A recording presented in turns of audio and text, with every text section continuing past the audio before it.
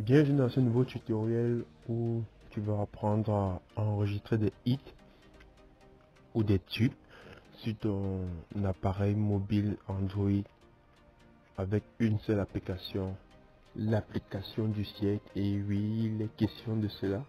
Bon ben, dans cette vidéo, je vais t'apprendre à enregistrer et masteriser un son avec ton appareil mobile grâce à une seule application. Tout d'abord, il sera nécessaire de d'aller la télécharger cette application. Euh, je mettrai le nom en description si jamais tu ne l'as pas retenu mais elle est plutôt assez simple à retenir. Tu te rends sur ton google play tu effectues une recherche où tu taperas un track tu prendras l'option où sera écrit un track enregistré audio et beatmaker. L'application en fait c'est la meilleure que j'ai pu trouver jusqu'à présent pour l'enregistrement sur le téléphone. Il y en a plein d'autres, mais mon, choix vraiment, après avoir testé multiple multiplication, est tombé sur celle-ci, qui a une très bonne note. Tu l'installes et ensuite, euh, ce qu'il te faudra, c'est l'ouvrir. Hein. À partir de là, bon, pour un début, je vais te présenter en fait les bases à connaître dans l'application et l'interface.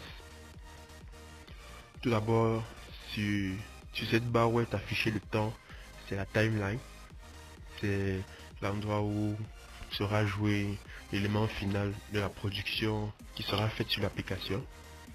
Là, nous avons les pistes. Il est possible d'en ajouter en tapant sur cette petite option. Ajouter une piste audio. Il est possible d'ajouter une piste d'instrument ou une piste de beat. Mais le premier bouton que vous voyez juste là, c'est l'option pour enregistrer. Le moment venu, je vous expliquerai en détail son fonctionnement. Ensuite, là, nous avons le bouton pour jouer.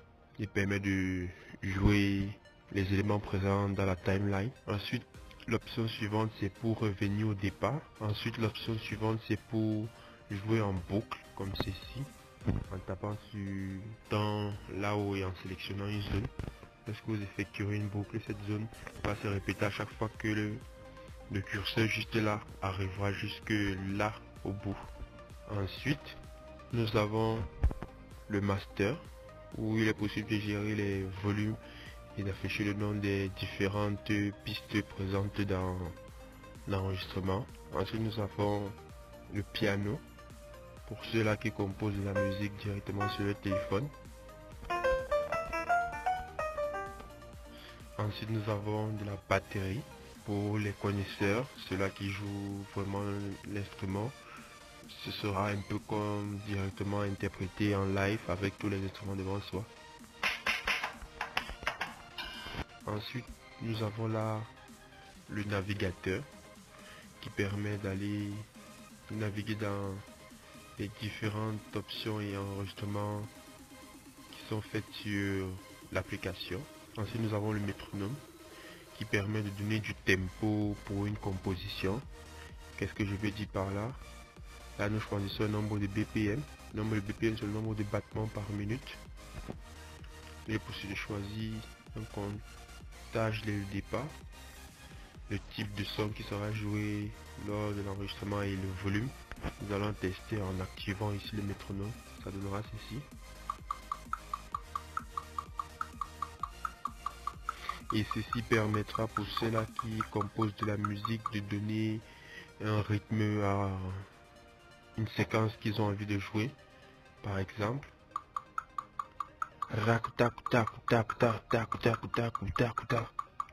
Très simplement, ça permet de un rythmique, vous voyez un peu le truc. Moi, je vais le désactiver, je n'en ai pas besoin. Ensuite, nous avons cette option qui permet d'effectuer un retour arrière, un peu comme un contrôle Z. Je vous expliquerai le moment venu son utilité.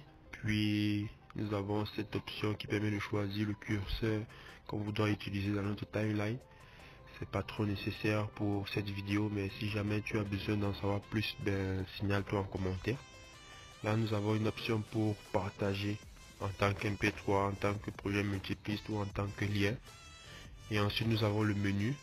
Le menu principal où il est possible en fait d'importer des fichiers, enregistrer la chanson, ouvrir un nouveau projet, exécuter un nouveau morceau et importer des fichiers MIDI. Bon, à partir de là, je vais vous expliquer la timeline, mais pour cela, il faudra que j'ajoute une ou deux pistes pour vous expliquer un peu plus son fonctionnement. Je vais taper le menu principal, importer un fichier audio. J'irai chercher où se trouvent en fait les éléments dont j'ai envie d'importer dans mon espace de stockage. Là, j'ai envie d'importer une instru. Pour les besoins d'expliquer un peu plus le fonctionnement, je vais exporter un fichier. Dans le cas, nous allons prendre ceci. Et là, nous avons deux pistes. Je vais vous expliquer maintenant plus en détail ces différentes options dans ce coin gauche. Je vais désactiver le métronome. Là, nous avons les options de volume, cette petite barre qui défile là. Vous pouvez taper dessus et directement avoir des précisions sur le volume. Vous constatez que lorsqu'on joue les deux sons ensemble,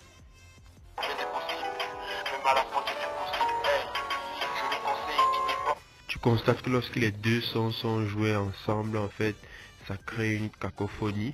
Ceci est dû au fait qu'ils sont exécutés au même moment et que ce ne sont pas des pistes qui sont en rapport. Ainsi, il sera possible de jouer une séquence en solo, c'est-à-dire c'est seulement là où les pistes activées en solo qui joueront sur le moment.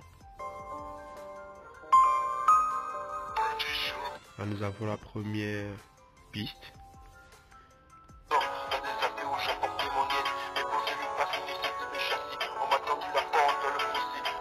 Là, nous avons le deuxième enregistrement. Ensuite, il est possible de muter un ou plusieurs pistes et ainsi laisser place à tous les autres qui ne sont pas mutés.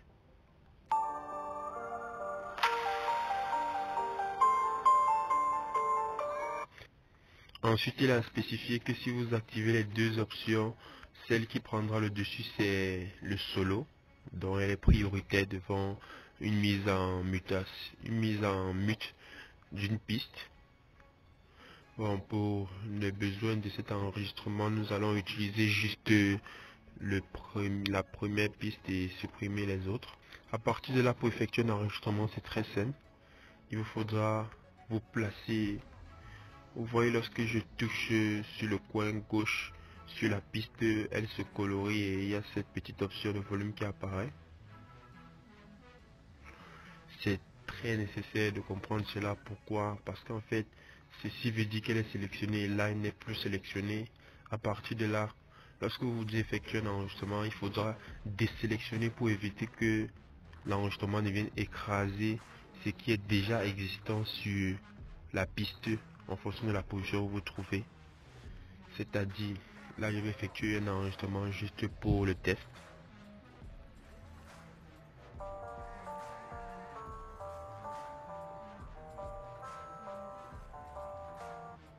Là, nous avons un petit enregistrement. Ça n'a pas marché parce qu'en fait, l'application que j'utilise pour filmer l'écran m'empêche de pouvoir enregistrer en même temps.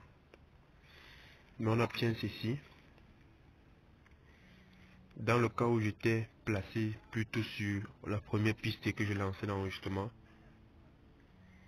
vous voyez un trait noir qui se met à apparaître sur la piste et dès lors que j'arrête,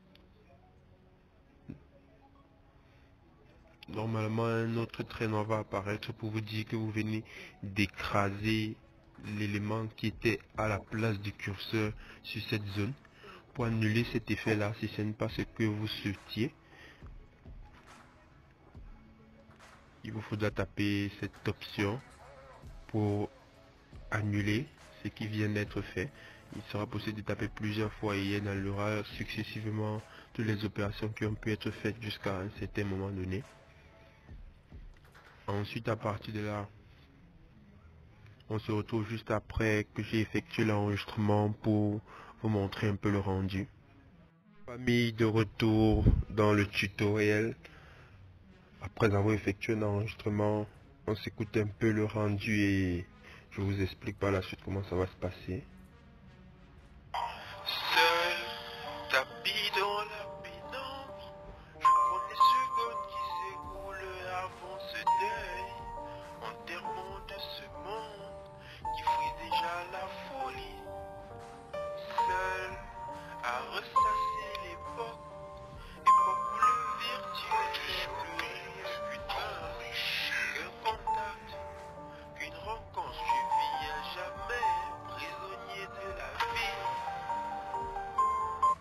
Ok, nous avons là notre enregistrement.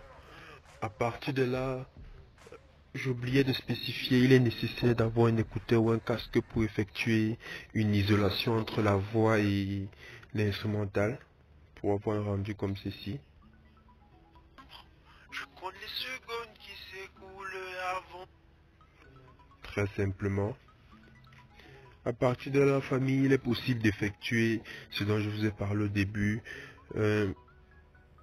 mastering de notre audio. Ceci en faisant quoi? Là, la piste est sélectionnée.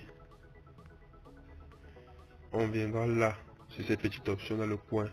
Elle voit le master de cette piste. On viendra, il sera possible par exemple de paramétrer un équaliseur en tapant sur EQ.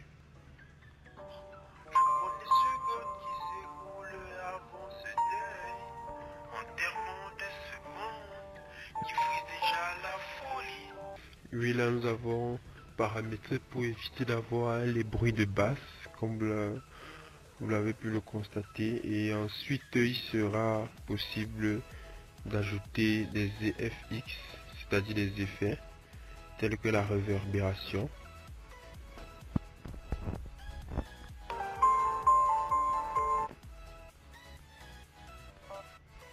Je vais sélectionner cette zone-ci je vais mettre en boucle.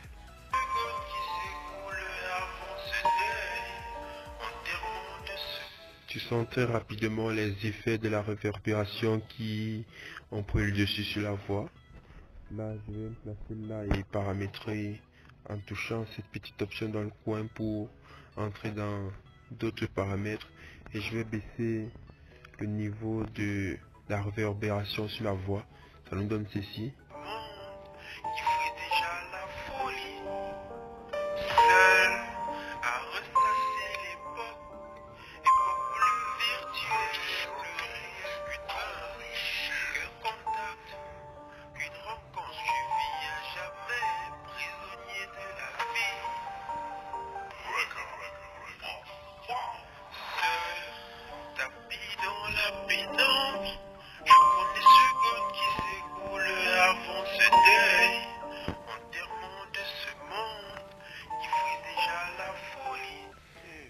Là le résultat est plutôt assez convaincant.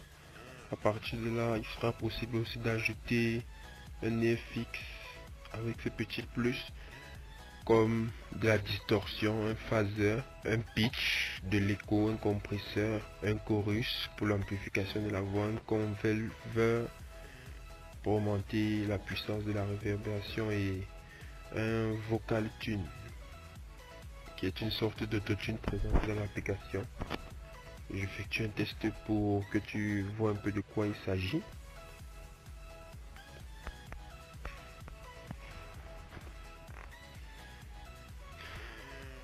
Je vais jouer la piste ici en solo.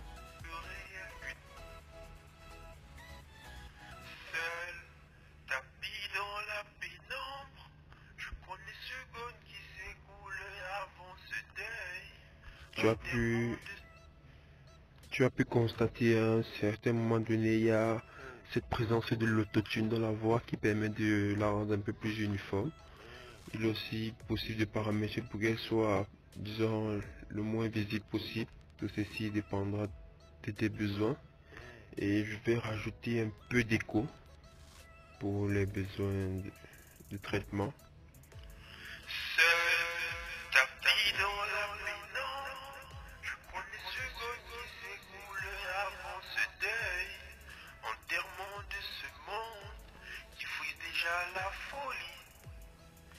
seul à ressasser l'époque, époque où le virtuel est plus réel qu'une main, qu'un contact, qu'une rencontre je vis à jamais, prisonnier de la vie.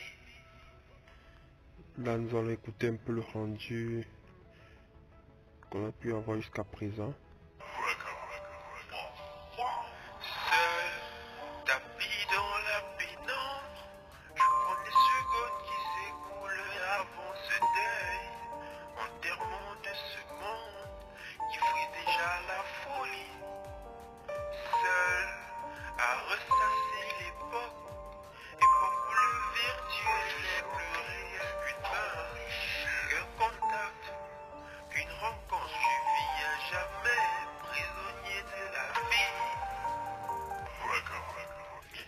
Là, le rendu est plutôt assez pas mal, je dirais. Il est possible encore de venir là, par exemple sur cette piste et de travailler directement sur le signal de la piste, c'est-à-dire il est possible là de diminuer sa taille en bougeant cette petite option là.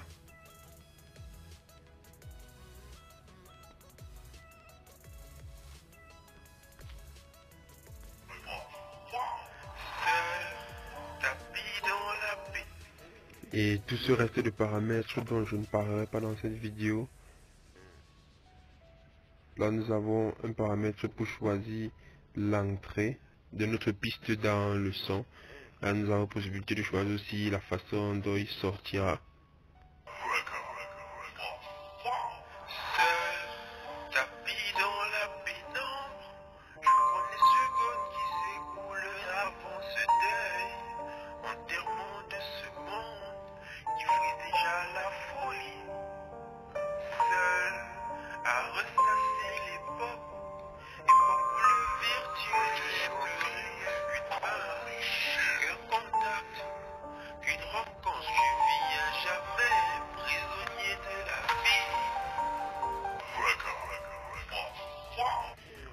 La famille, c'est terminé pour ce tutoriel. S'il y a des zones d'ombre où tu n'as pas bien retenu des choses, ou tu voudrais plus d'explications, tu te signales en commentaire, je te répondrai le plus rapidement possible.